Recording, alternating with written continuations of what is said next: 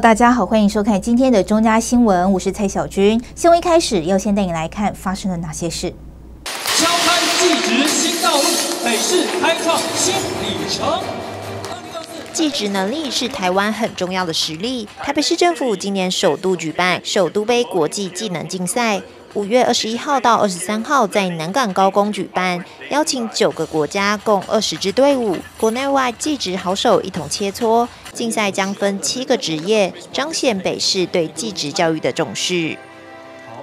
其实这个想法，早在我当时竞选市长的时候，到去年我们一上任，就非常希望，不只是让我们在台湾优秀技职体系的同学。能够展现各位的实力，让世界看到。另一方面，也希望透过首都杯国际技能竞赛，能够跟国际接轨，能够去学习国际他们优秀的地方，他们的长处，能够彼此之间交流、学习、接近，创造双赢。所以我一直很强调，为什么要办？首都杯国际技能竞赛，我想不只是全国，我们希望跟国际这些好手一起切磋，有很重要的两个理念。第一个，其实我认为台湾很重要的实力，就是在我们的技职教育体系所培养出来的人才。刚看到这个影片，其实非常的感动。这几个画面看到我们这些优秀的技职同学，不管在哪一个。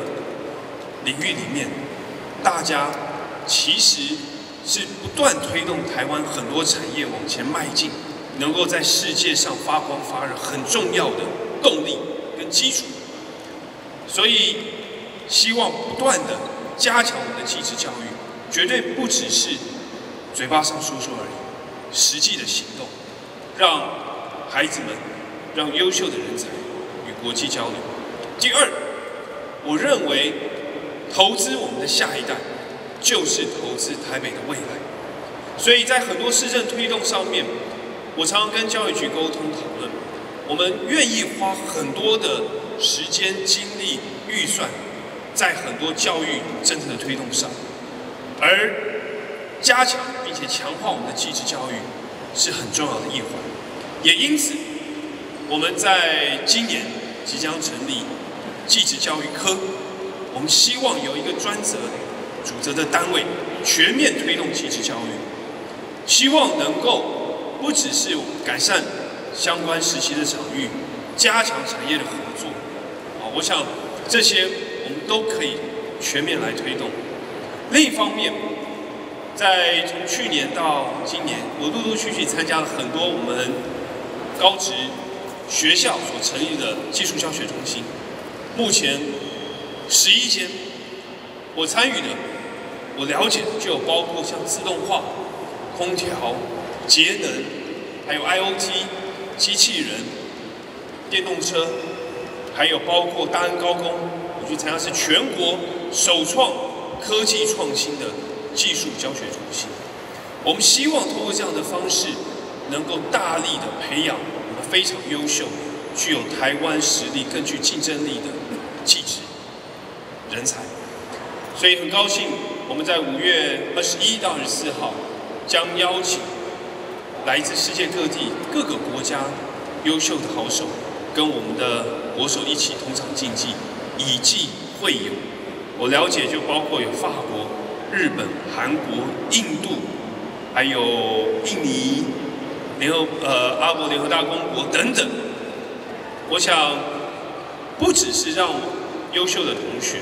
展现他们的技能，更重要，我希望能够跟国际这些优秀的人才，也培养好的情谊。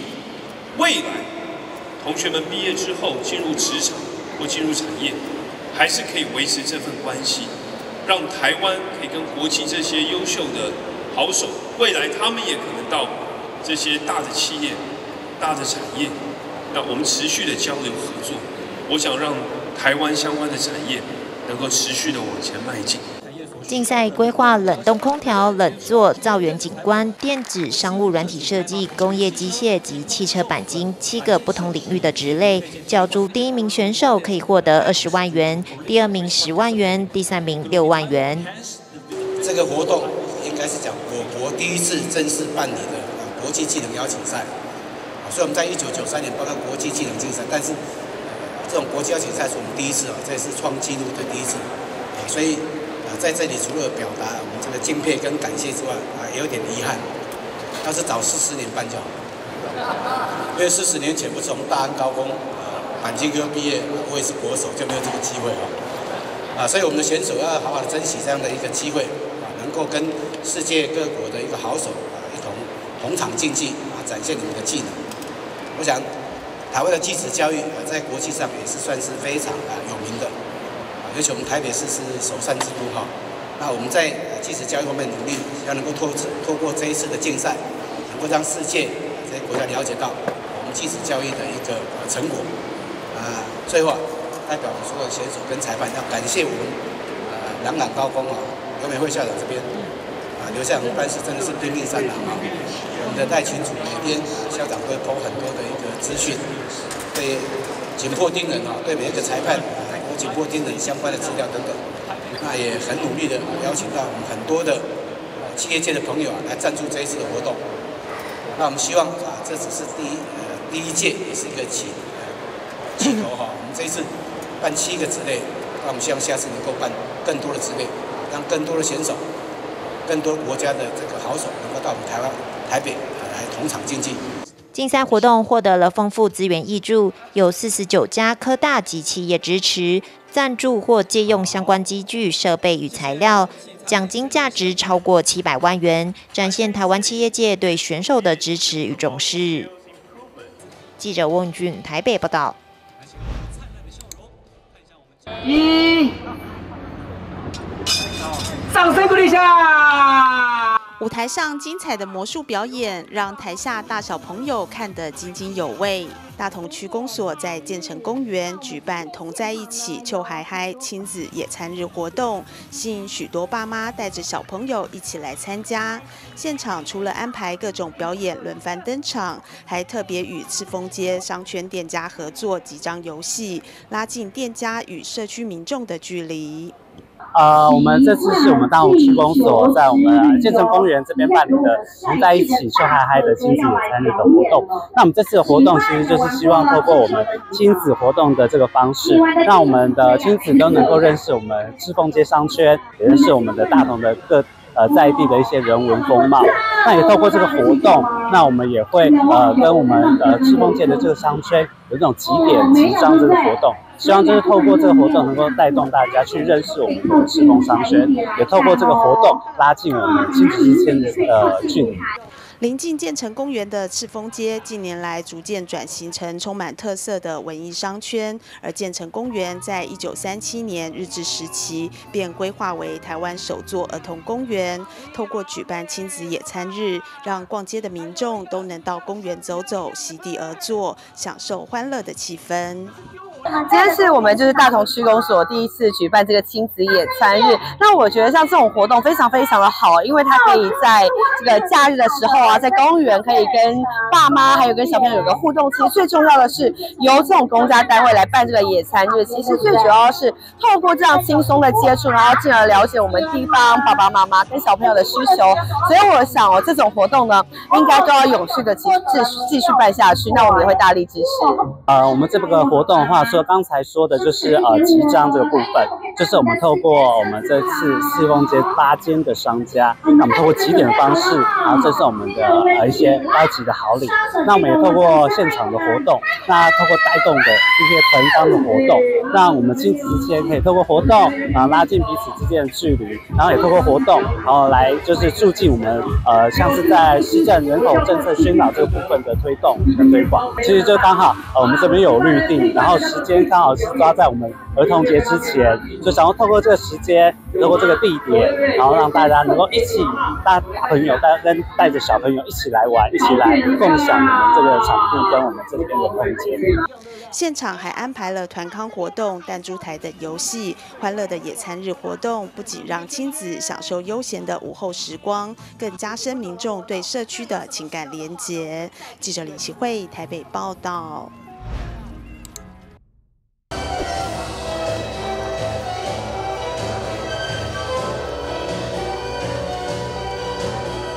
男女舞者优美的舞姿身段，展现力与美的结合。三月三十日将在台北小巨蛋登场的二零二四舞王世界公开赛，参赛阵容囊括世界三十国，超过八百位精英舞者，更有世界前二十四强的职业好手报名，精彩绝伦，令人拭目以待。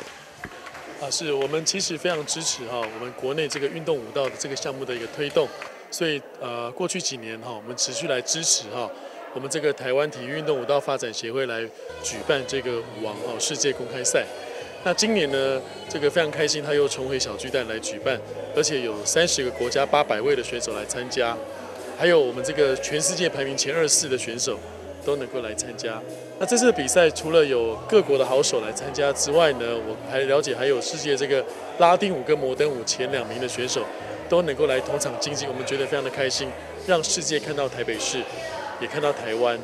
那所以呢，我在这边也特别的肯定哈，这是筹办单位的一个规划，未来呢会持续来支持。当然，我们也希望哈，刚刚这个筹办单位的心愿哈，在大家的努力之下，可以有一天实现前进大巨蛋。这个我们会来全力来协助跟鼓励，让这个国标舞的风气呢在基层扎根。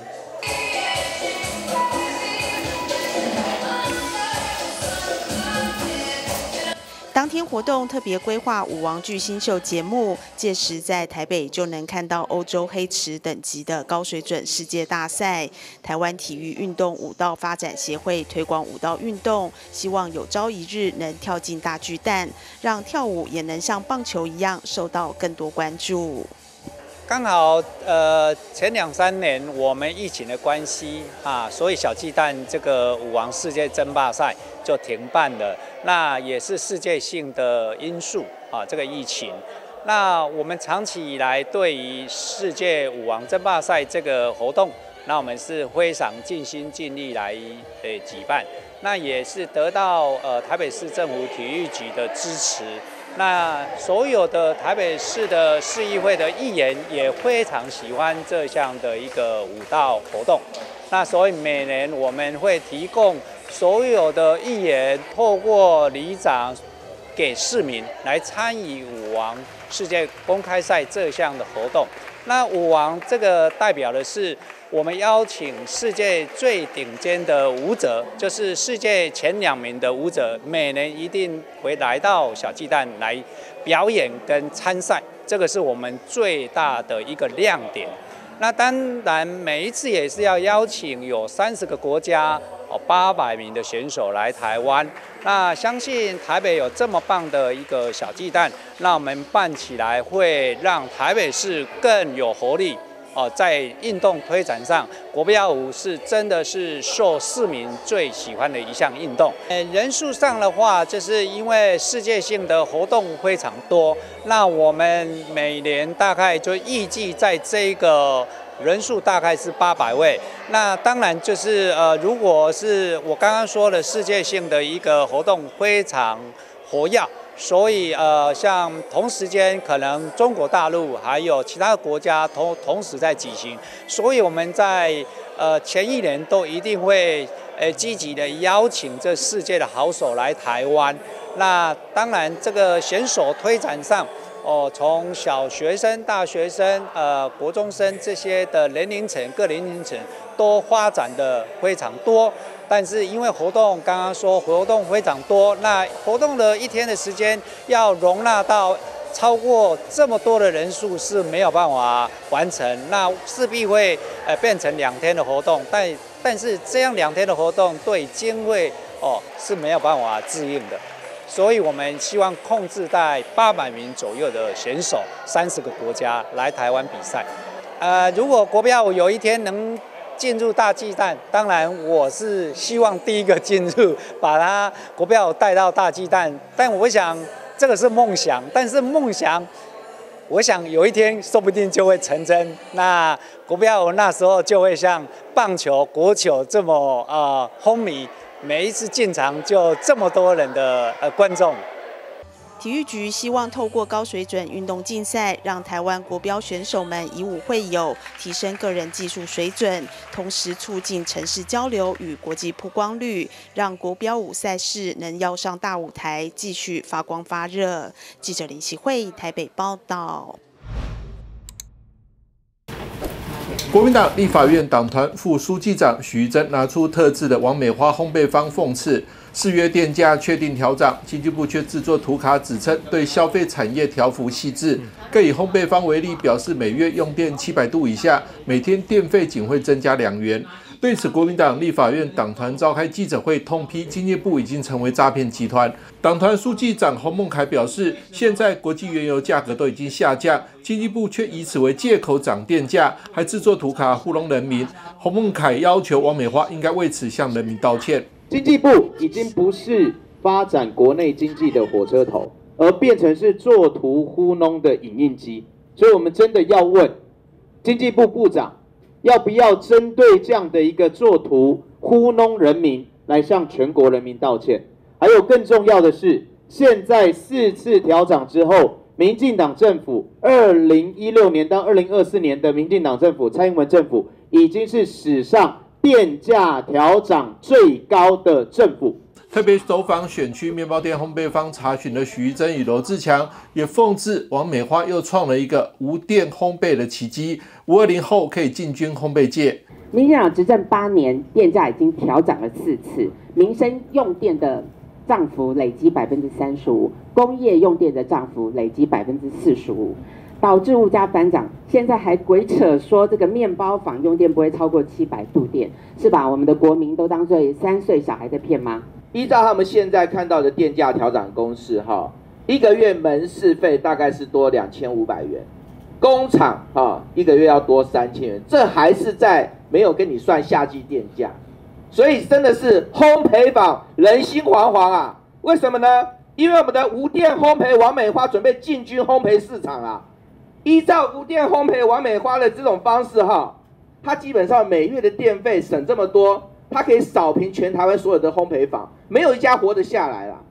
张家俊则以中油卖天然气给台电贵两倍为例，批评是向全民卡油。家里曾开过早餐店的徐小新，除了为三百万名租屋族发声，也质疑制作图卡洗脑民众的经济部官员根本是生活在平行时空。中油卖台电的天然气价格是给一般用户的两倍，所以这个经济部左手卖右手。然后向全民卡油，叫全民买单，这样对吗？完全是不合理。所以呢，请请民进党政府哦，不要再用诈骗的手法哦，来欺骗一般的老百姓。在这里要呼吁经济部立刻将这一张说谎、脑补平行时空的图卡下架，不要透过假讯息来欺骗国人。不要透过假讯息对国人进行认知作战。烘焙坊已经打脸了，拉面店也涨价了，到底还要多少店家出来打脸？今天经济部才愿意收回成命，收回你们口中的谎言。立法人杨琼英怒批经济部比扯铃还扯，干话连篇，至于九月审议委员会会不会又要调涨电价？李彦秀也批评民进党政府错误的能源政策造成物价上涨，却要国人用爱发电，根本就是薪水小偷。政府告诉我们，十年不会大涨，跳票，跳票，跳票，再跳票，而且是史上最混乱的调涨政策。所以我要预言，九月份审议委员会会不会再调涨？请政府告诉我们，现在台电到今年年底就是负债四千亿。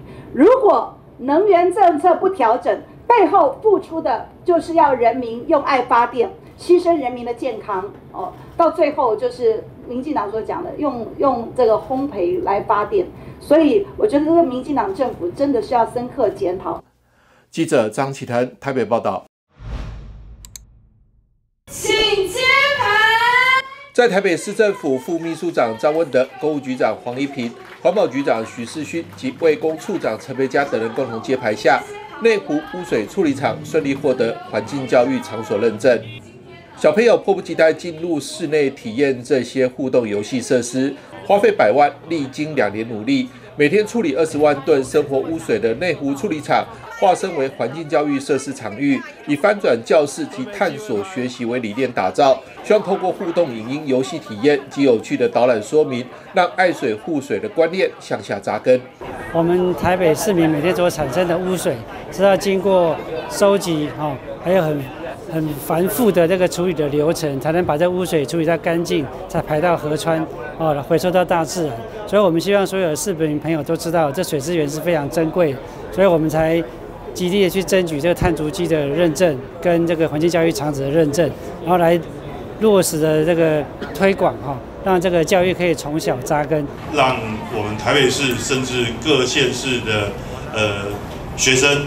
都可以透过这个环境场域的认识，让我们知道说怎么样去做好永续循环。为什么我们可以把这个呃，不管是水体的污染量把它降低，减少这个制成中的所有的碳排，甚至我们还有一些好的副产品可以产出。这一个都是一个让我们在座的各位小朋友呢，可以从这个实际上的经验去认识到我们怎么样爱护地球。怎么样在过程中、生活中，我们让呃我们的所有的行为对地球的伤害尽量的降到最低。小朋友一站上去，荧幕就会出现该种营业场所的污水如何收集到污水厂，还有用手点选荧幕就可以看到生活中使用过的脏水到底跑到哪去。那我们上厕所啊，或者是我们洗菜、洗碗，那洗剩下的这些脏的水或者是不干净的水，那会流到哪里？那我们主要的第一个互动装置就跟大家讲，平常生活中用到的水会流去哪里？那像这个部分呢，就是类似于我们的一些其他的一些事业用水，像是我们餐厅啊，或者是我们洗车场啊，或者是像是我们的一些大卖场，这些用下来剩下的水，那会流到哪里？那它可能会里面会有哪一些成分？那就会用我们的这个第二个的互动设施来跟大家做介绍。卫工处还设计了可爱讨喜的吉祥物娃娃。透过动画带领小朋友了解污水厂如何让污水变干净，甚至还推出实体的小布偶送给小朋友作为鼓励。因为我们这以前传统的环境教育就是用书本哈，然后用宣导的方式，啊，我们认为这样的方式比较生硬了哈，所以我们就导入互动式的多媒体设施，哦，还有一些影像，像是我们做了一个史威奇的吉祥物。哦，那是那是那个就是苏一局，就是污水，它做成吉祥物。那吉祥物我们做成小布偶，那小朋友如果来这边参观，可以送给他一只小布偶带回去，他会有更有感觉啊，也更有更有认知之后，可以把这个认知化成为行动，哦，然后落实到每天日常生活里面。这样活泼有趣的环境教育方式，也让小朋友收获满满，愿意当宣导环保的小尖兵。学到了原来污水处理厂处理了那么多东西，几乎快处理了我们生活中每天都会看到的东西。因为我很喜欢海洋，所以我回去都看到水漏着，我都会把它关紧。洗米的水我也都会拿去浇花。除了落实环境教育，微工处也持续进行污水接管工程，希望台北市污水接管率在民国一百二十一年能达到百分之九十以上。还有，在民国一百一十六年，让污水厂达到三级处理目标，处理过的水甚至可以比基隆河水更为干净。目前台北市的污水处理大部分都是二级处理，还有一部分是送到巴黎厂，只有初级处理就排到台湾海峡。所以，我们希望可以提升整体三级处理的比率。三级处理就是比二级处理还要更好。那这样的水质可以对河川更友善，甚至可以在基隆河在枯水期的可以补助河川的基流量。然后部分呢可以回收到市区来，给市民朋友来做回收使用，这样就可以降低对自来水的依赖，这样不是对环境更友善、更永续吗？公务局长黄一平表示，全国目前七十七座民生污水处理厂中，有十七座具有环境教育场所认证，有五座取得碳足迹标签认证。台北市迪化及内湖污水处理厂两项认证都有，内湖污水处理厂更是全国碳排放量最低的二级污水处理厂。台北市将持续推动节能减碳，为二零五零近零碳排贡献心力。记者张启腾台北报道。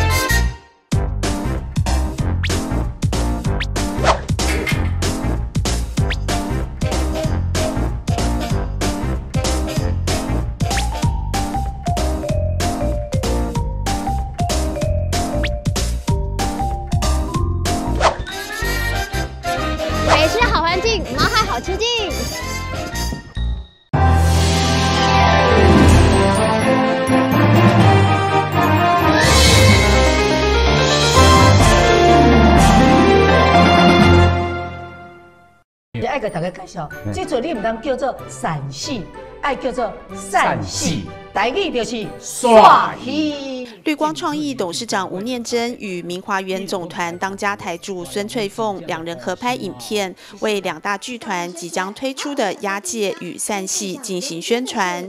记者会上还现场挑战双方作品的精彩角色。孙翠凤先饰演自己在《散戏》中饰演的包青天，接着帮吴念真贴上月牙，加上染口胡子，一秒变包公。哎啊，这样也可以拉着胡须，对，然后走出来。哎，你这包大人更多毛呢？王朝马汉，就现在是单色米，跪虎头当炸，赞！好啊！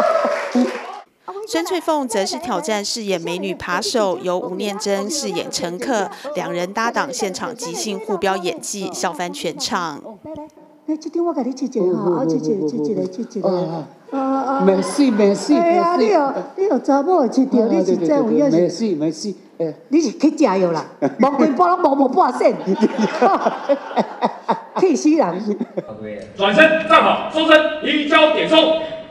押解菜鸟警察 VS 老扒手改编自台湾幽默文学大师段彩华先生的短篇小说，九年前以舞台剧形式上演后叫好又叫座。今年特别找回金钟男配角黄迪阳饰演菜鸟警察，与喜剧天王唐崇盛饰演老扒手，展开一场绝无冷场的斗智。车厢内上演各色人性，反映台湾五六零年代社会缩影。很多人都以为说你跳应该都是台语的，不是啊？段彩华先生是外省籍的，但他写的是台湾的故事，而且写的是民国五六十年代那样的背景里面，一个警察押着一个扒手从高雄啊到台北来受审，是这个这个过程啊，充满喜剧，而且整个故事发生在火车里面，所以我对我来讲印象非常深刻。那时候在中影的时候，曾经一度说，哎，把这个改成改编成电影，那台湾铁路局反对。他不借呀，因为他说火车里面没有没有扒手了，还有里面有那个吃便当司机，他把它往车外丢，他说影响环境卫生的。再来就是车站是机密，所以那个案子就搁置了。搁置之后，但是一直放在我心里面。所以后来人家系列，那么台湾文学系列要改的时候，第二部我想到就是啊雅姐，因为我觉得是太好玩了，呃，蛮蛮有趣的一个一个一个故事这样。我心目中的这个。偶像哈，呃，吴念真导演，我一直想能够有机会认识他或者一起合作吗？啊，居然都没有这个机会。但是没有想到，我们这一次两部文学跨界作品，居然让我们连结在一起。两个公司、两个剧团，还有包括我们的导演，包括我们所有的这个演员、行政单位，我们以后往后。听说还要继续的交流，那这一次只是套票，我们套在一起。后面听说演员交流，啊，很可能还有很多很多的这个在剧团上、在剧场上的交流。散戏则是改编高中课本都曾读过片段的洪醒夫先生得奖同名短篇小说，以喜剧元素重塑原著，借由台上台下虚实交错的戏中戏，带出民国五六零年代台湾歌仔戏受到影视产业冲击的现实。我们为什么会演？是因为我的小女儿陈昭贤，她在高中读到这个短篇小说，然后她就跟她爸爸讲：“爸爸。”我们如果有机会，一定要演这出戏，因为他在讲的是歌仔戏在五零年代、六零年代那个环境，我们没落了，但是我们的职人面对大环境的改变，我们怎么样求生存？当我们生存不下去的时候，就像洪醒夫写的，剧团解散，所以它是一部悲情的呃一个戏剧，呃，在戏里面呢是看不到明天。但是经过陈胜武先生跟我们黄志凯导演，他们两位在思考现在的社会氛围呢，呃，不要再那么悲情，让大家心情看戏进剧场，花钱来看戏，还是要给他心灵上除了有一些启发以外，要让大家有欢喜心。所有里面的故事情节，全部都是真实歌仔戏的职人发生的问题，所以是一部，哎，这部是笑笑笑笑笑到最后，眼泪头眼泪会掉下来。这一步是靠靠靠靠靠不了，哈哈哈哈哈大笑。所以人生如戏，戏如人生，欢乐欢喜心，但是要面对苦难的时候。我们也是给他笑大声，哈哈哈。那我非常喜欢这篇这这这篇小说，人家讲的是歌仔戏在一个环境里面的没落，啊，那种没落里面悲喜交集。我到现在都还记得，我在自己在写剧本的时候，一边写一边哭出来。是包公坐在下面，陈世美跪在下面受审的时候，小孩子在底下哭，他会说：“胆色屁，落去就落去起灵。”就是把陈世美下去还去喂奶啊。没有，他是小生嘛，就这样。啊，对我来讲呢，两个戏都有一个一种很奇怪的忧伤，但是又充满的喜生活上面的那种喜趣，这样。那所以这一次，哎，我们刚好要演，那明华也要也要演。我说阿伯连连做几回啦，就一起来吧。就呈现的是一个台湾某个阶段里面，其实两种不同的的的。讲行业好像怪怪的哈，两种不同的境境界，一个是歌仔戏团，一个是平民百姓这样的一个故事。绿光剧团与明华园总团两大剧团带来文学经典改编作品《押解与散戏》，企图掀起一波经典文学剧场的风潮，邀请各界支持好戏传承。记者林启慧台北报道。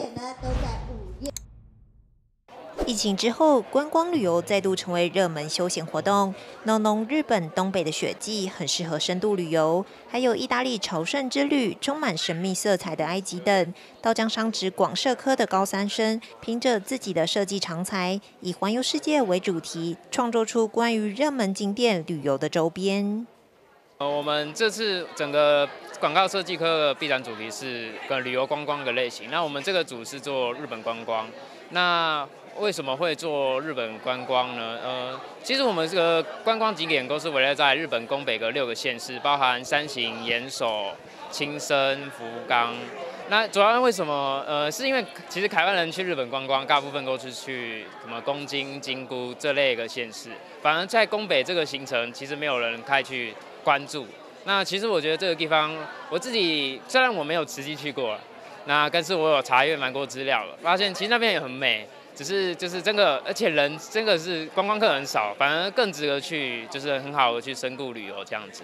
那其实我们整个规划行程大概有二十几天，就是真的很深度的，呃，去探索呃这个每一个县市的一个很多地方。我们这次选择的国家是以意大利为我们的主题国家，然后我们在设计中是有参考许多就是当地的一些历史。跟环境之类的，然后我们去做那个行程上的安排。然后我们的话是，因为当时在寻在查资料的时候是有发现说，意大利的红酒其实并不比其他国家还要来的弱，所以而且也挺有名的。所以我们将一些意大利的酒庄融入进我们的旅游行程中。然后我们在 logo 设计上是选择是以。当地比较知名的，像是比萨斜塔跟罗马竞技塔，还有那个红酒的酒瓶去做设计，形成了我们现在的那个 logo。然后我们的标准是一起是选择是使用意大利比较常出现的元素拱门去做设计的。然后我们意大一起是因为那个疫情的关系，之前因为疫情，所以那个大部分时间。旅游都是被停摆的，然后现在疫情已经比较好一点，然后可以希望可以大家一起出去旅游。然后颜色的话是选择是用那个意大利国旗的红与绿去做设计的。我们这次的毕业展，二零二四年的毕业展的主题是环游世界，遨游到江。那最主要是在三年疫情以后，我们。旅游产业非常的兴盛，因此我们对日本、德国、英国、希腊，还有我们的呃就是埃及等等，意大利来做我们的就是旅游产业的产品设计，他们所呈现出来的都是我们也融合了我们电竞，因为电竞在电脑上面的设计，还有我们广告设计组，还有表演设计组，我们都融合在里面做毕业成果的呈现。那将三年所学，他们都是呈呈现的非常好的所有的作品。今年的学生呢，他们是做旅游为主题，然后他们的作品呢是都是自己发挥自己创意的，然后他们都没有出过国，但是呢，他们都能够表现得很好。他们说做完这一次的毕业展，好像已经去环游世界了一样。啊，他们很开心，有这么多元化的主题，然后有这么活泼生动的主题，而且他们在学习中呢，啊，受到指导老师的指导，在编排方面，在色彩的搭配上方面，在草图的设计方面，他们都有很大的成就。我想日后呢，对他们毕业以后呢，往大学再继续的呃发展，会有很大的呃帮助，而且这也是他们的基础。学习基础学习到了大学以后呢，就能够更深一步的啊进阶的学习。道江商职广社科历史悠久，成就了不少业界专才。这次毕业展除了秀出高三生的学习成果，也找来杰出校友分享职场经验与学科知识活用。我觉得道江的广告设计课让我学习到如何装扮自己，还有包装自己，还有创造未来人生的无限可能。我从在道江拿到了台语歌唱比赛的第一名开始，我就一路拿着麦克风拿到了现在。我觉得道江给了我人生中的第一份自信，所以我非常感谢道江商职。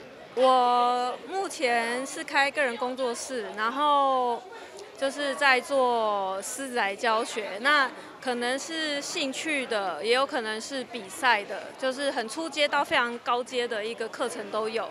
那所以到现在，如果说是比赛的话，以一个老师的身份，就是我也必须要去一直往前进，累积更多的经验。哦，就是你不是说得了一次奖，还是比过一次赛，你就是在在原地。哦，你必须一直跟上时代，然后让。自己的技术不断推进，跟上潮流。所以其实，在道江的时候，我就有参加很多比赛，比如说花灯比赛，比如说学生美展绘画比赛。那其实从那个时候，学校给我建立的一个比赛的心态，然后时间上面的规划，还有就是我那个时候所学，比如说我在历史、艺术史课本上面看到的艺术家的作品。然后还有就是我毕业展那一年，我记得我做的是原住民的主题，对于我未来有非常大的影响。因为其实在我未来比赛，我人生四次比赛当中，有一次就是有关系到妇科的，就是艺术家的作品，然后去做一个创作的比赛，然后有得到金奖。广设科分设计组及电竞组，不仅在电竞各项比赛上名列前茅，在广告设计上也能设计与制作出作品。毕业后，他们将有设计知识与电竞两个专才，多元发展可以说是道江商职广设科的一大特色。记者问俊台北报道。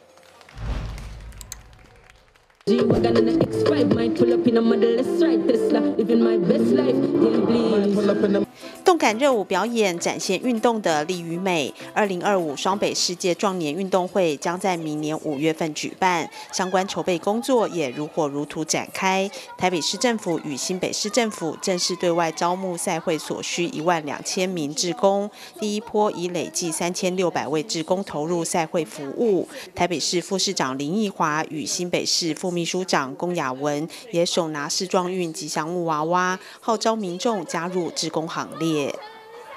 由于在疫情没有举办世壮运，那这次呢很特别，又是刚刚主持人讲到是第一次在亚洲国家举办，我们要不要把它办好？要，一定要，因为第一次在亚洲哦，所以呢我们一定要让世壮运在亚洲的国家，让大家看到我们双北的能量。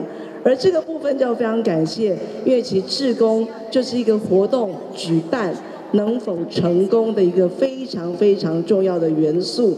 在过去，其双北办过各种的运动赛事，都是靠大家帮忙。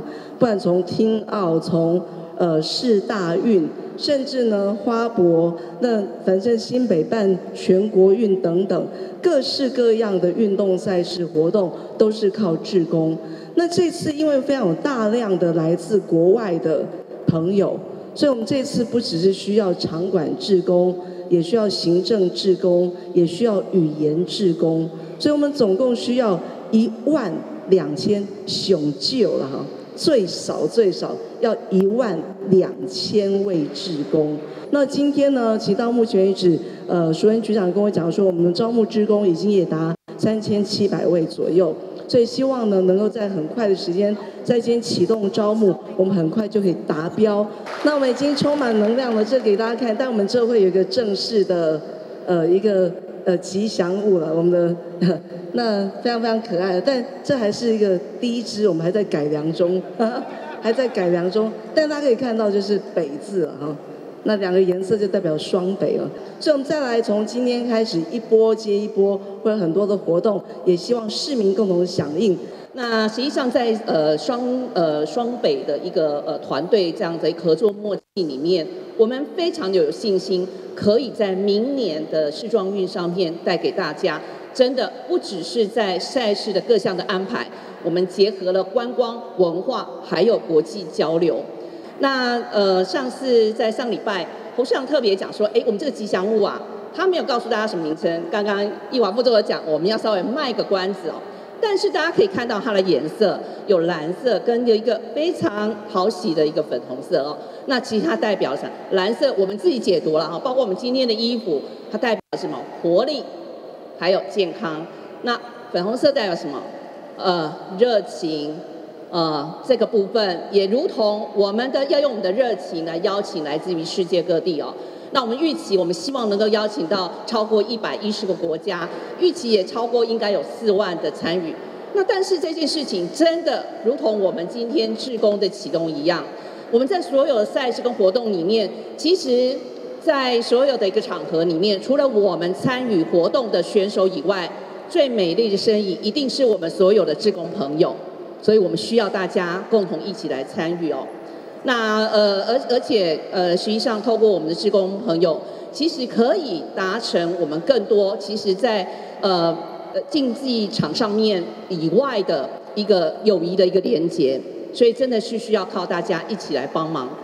社会局长姚淑文表示，志工服务将分为场馆、行政及语言三类服务，以三十人以上志工团队团体报名为优先，个人也可以透过台北市志工管理整合平台线上报名。我们这一次是来自于国际的下一次，所以在语言的志工的部分，其实需求是很多元的哈。那除了一般我们可能理解的英文之外的话，包含华文、德文或者其他相关的一个列别的一个语系的话，我们都欢迎来参加报名我们的语言志工。我们在这一次的活动里面，我们希望至少招募一万两千位的一个志工，所以呢，在这个过程当中上，我们希望能够越多越好。那我们从现在开始到我们十月为止，如果纵使超过之后，我们还是希望我们志工的力量能够越来越强大。只要年满十六岁，不论是学生或社会人士，都欢迎报名，串联各路英雄好汉，心怀世壮运，投身志工服务，共同成就一个友善赛会。记者林启慧台北报道。我是医生，但不是你常见的那种医生。我的治疗对象是整个城市的污水管。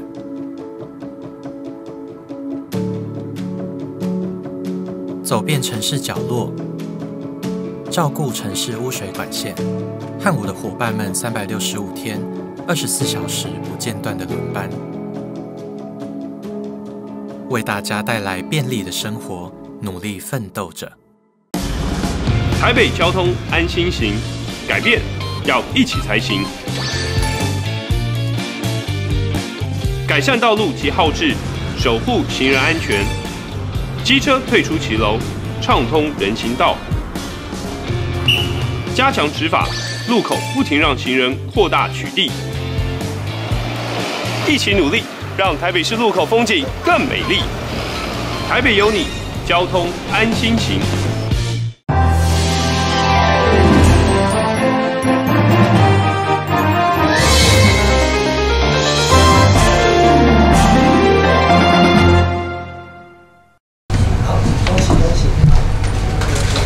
由基隆市首创与加州大学伯克莱分校合作的学习课程，参与的三十位高中学子顺利结业。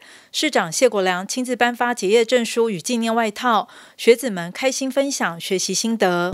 因为我们也已经高二甚至是高三了，所以呃，这也会是一个很宝贵的经验，也可以让我们呃在不久的将来就可以使用在学习历程里面，我相信会是一个呃很大的加分。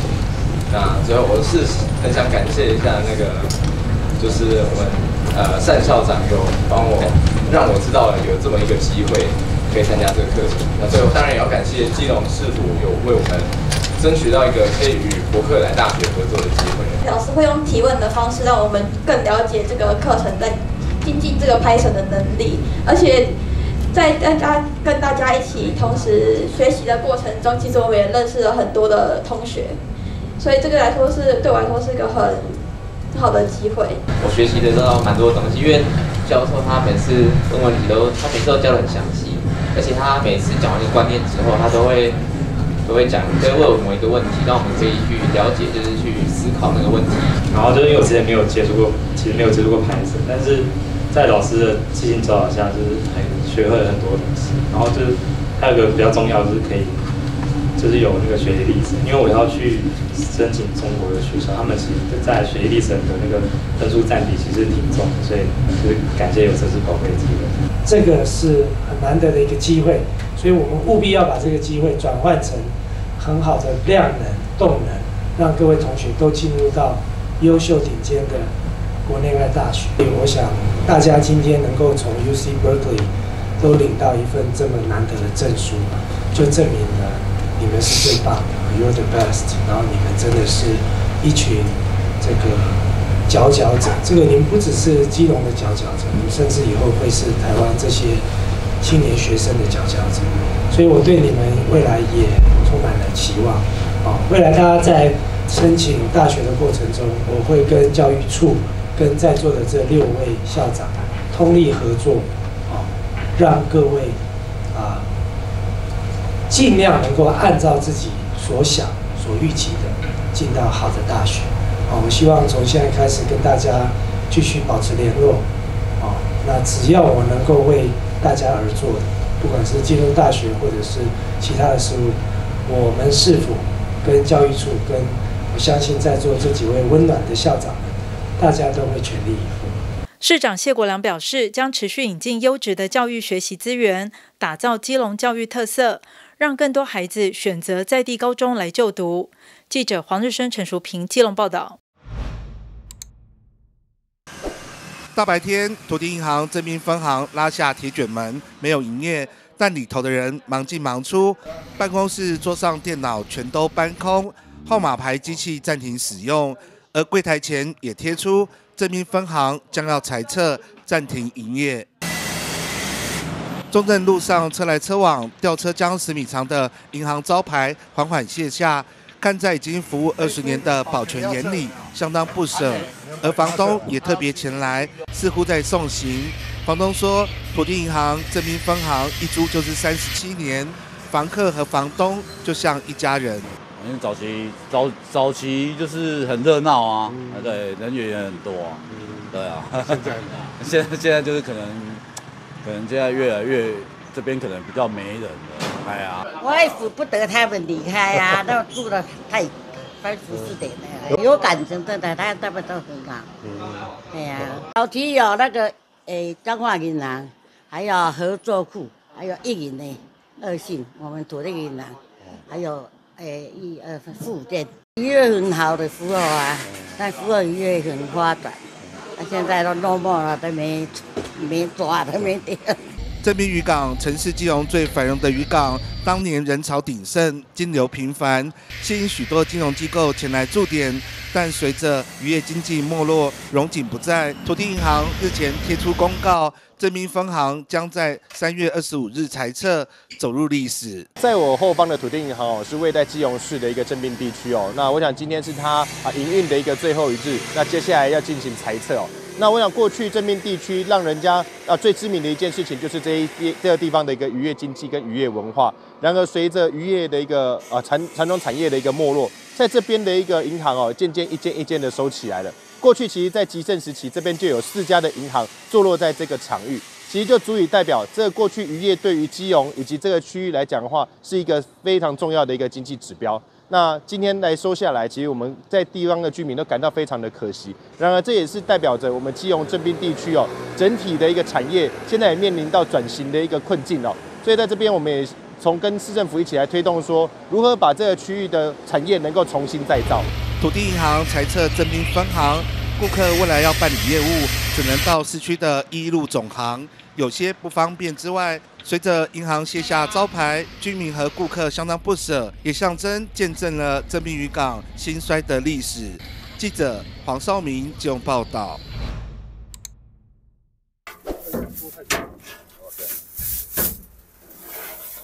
拿出铝棍，伸到旧衣回收桶里，顺利将塑胶袋勾起来，因为里面装的不只有衣服，还有一卷现金。这名老翁会这么着急，原来是在整理衣服时误把一袋旧衣服丢到回收箱，没想到老婆在衣服里藏了一万元的生活费，却被他丢到旧衣回收箱，担心会被挨骂，第一时间不敢坦诚，找上里长帮忙。伊厝的人还伊借衫足济，啊，拢下房间，我看规间，敢乱脏工咧，看到大家拢讲，啊，结果我今日想。我透早，我昨我烦恼到大下面去。啊，阮某昨昏也无衫。啊，咧，我咧，你头壳底，你想讲这透早要找里长，拜托里长加到伊落去。里长帮忙联络回收公司，但恰巧业者不在基隆，李长只能够土法炼钢，用铝棒勾捞，终于捞到这一袋旧衣服，顺利找回一万元的生活费。拿出来的时候，就是他放在衣服，就是像这样子一万块。卷在一起，用橡皮筋绑着，变成这样卷的。对。边伊下啊，我才知影讲，伊讲甲厝的生活费用喺内底，我我搭一下死啊我。哦。我紧来吹转来就好啊啦。啊，吹转来，哎，看伊会卖搁买念。哦，伊个三暗时改念落来啊。三暗念要两点外钟啊哩。捐衣服差点变成捐钱，好在最后有里长帮忙，才让一万元失而复得。但老翁下回再也不敢主动帮老婆整理衣服。记者黄少明见报道。每到假日，安乐区基金路段就因为往新北市万里金山观光旅游的车潮，造成塞车，成为大型停车场，严重影响安乐区大五轮地区三万人口的进出交通以及生活品质。因此，传出中央已经通过台六十二线延伸到万里金山路线的可行性评估。立委林佩祥非常重视，因此在立法院国事论坛上，虽然肯定中央政府便民的。交通措施，但是也提出建议，希望中央要一并新建国道三号，设置高架引道衔接台六十二线西向快速道路。简单来说，就是希望未来往万里金山的车辆可以利用这条高架引道，避开通过安乐区的基金路段，直接到万里金山，才能有效疏解目前每到假日就塞在基金路段的情况。根据新闻媒体报道。台六十二线快速道路的新匝道终点是在新北市万里区。据说建设的目的之一是为了减低假日时到金山万里游玩的旅客塞车状况。但以本席居住在基隆市安乐区多年的经验，我认为在台六十二线的延伸工程实施之时，必务必要建制本席于上个月院会质询时所提出的。国道三号设置高架引道，衔接台六十二线西向的快速道路。因为目前虽然在地图上，国道三号与台六十二号是有交集点的，也有也有引道来连接两条主要道路，但是却只有东向开往九份地区的引道，并没有一条西向往台六十二线安乐端的引道。因此，造成假日旅游车潮都是往国道三号基金交流道下高速公路，并由市区道路前往金山万里地区。因此，与在大五轮地区居住的三万名基隆、三万位基隆市民在周末的作息，造成交通动线上的严重冲突。这是本席身为土生土长的基隆人，并自行开车往返台北通勤多年的自身经验。基于以上理由，为了能够有效地疏解假日金山万里地带的塞车困境，并促进此工程的目的之之促进我们的区域经济发展，本席强烈建议，在台六十二线快速道路延伸至万里的工程规划中，务必要将国道三号连接台六十二线西向的道路做出高架引道连接，不然将无法有效地。把假日行驶在国道三号的车流引入台六十二线至金山万里地区，最后花费了估计两百五十亿以上的公帑，却无法达到疏解交通拥塞的目的。记者吴俊松机动报道。以上就今天的中嘉新闻，非常感谢您的收看，我是蔡小军，祝您一切平安，我们再会。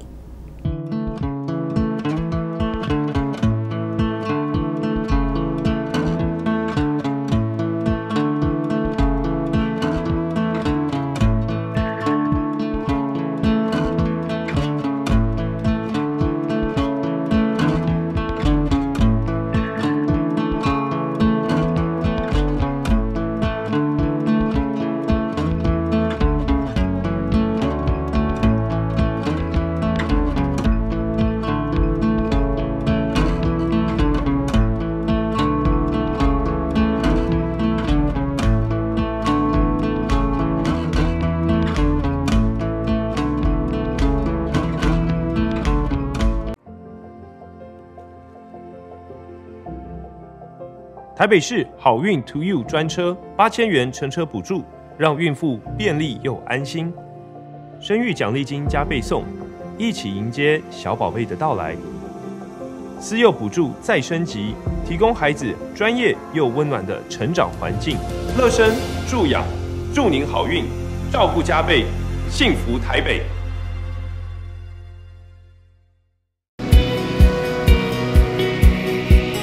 门绿交通，你我都轻松。每天骑一趟单车，每月减碳五公斤；每天搭一趟公车，每月减碳八公斤；每天搭一趟捷运，每月减碳十公斤。绑定悠游卡，开始我的减碳存折。